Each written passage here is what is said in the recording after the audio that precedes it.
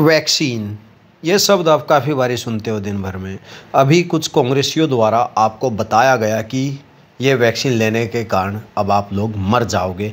या तो आपको हार्ट अटैक आ जाएगा, या आपका दिमाग में कुछ ऐसा हो जाएगा कि आपका दिमाग काम करना बंद कर देगा। ऐसा डर आपके अंदर फैलाया गया। लेकिन दोस्तों, साइंटिफिक जो रिज़ल्ट्स हैं, वो कहते हैं कि ये जो भी साइड इफ़ेक्ट्स हैं, ये पहले चार दिन से बयालीस दिन के अंदर होने थे। लेकिन ये साइड इफ़ेक्ट अगर कोई बोले कि तीन साल बाद आपको होंगे तो वो बिल्कुल गलत हैं। वो केवल और केवल इसका प्रयोग मोदी जी सरकार या भाजपा के खिलाफ़ प्रचार करने के लिए कर रहे हैं। जैसे ही चुनाव नज़दीक आया है, झूठ और अफरा तफरी का माहौल है। उन लोगों को जो पहले वैक्सीन नहीं लगवाना चाहते थे, फिर वैक्सीन की दौड़ में सबसे आगे थे। अब उनके लिए ये दौड़ सबसे बड़ी हो गई है।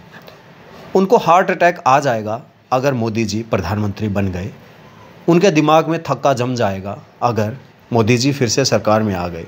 वैक्सीन से उनको नुकसान हो ना हो, वैक्सीन के उनको साइड इफ़ेक्ट हो ना हो, लेकिन मुझे पक्का पता है कि ये सरकार अगर दोबारा आती है, जो कि आने वाली है, जो कि आ रही है, उसके साइड इफ़ेक्ट उनको होने लगे हैं।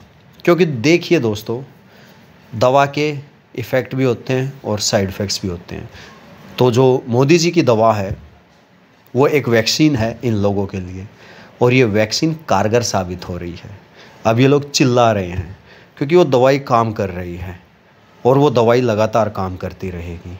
जैसे कि उस समय पर जो कोविशील्ड की ज़रूरत थी, कोवैक्सीन की ज़रूरत थी, उसी तरह से अब हमें, हम सबको मोदी सरकार की ज़रूरत है।